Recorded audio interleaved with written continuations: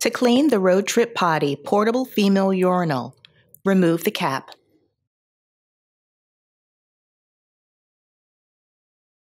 Remove the lid.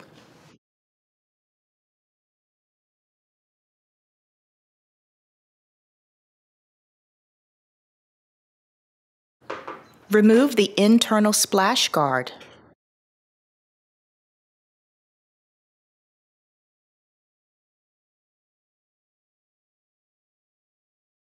Using warm soapy water, hand wash the bottom reservoir chamber, internal splash guard, lid, and cap.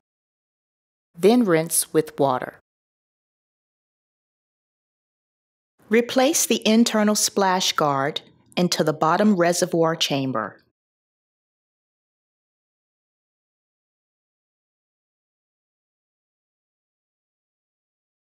Secure the lid by snapping the lid in the front and on each rounded side.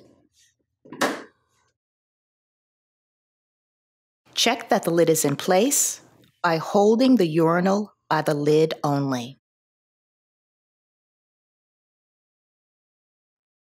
Replace the cap by ensuring the embossed triangles point towards each other.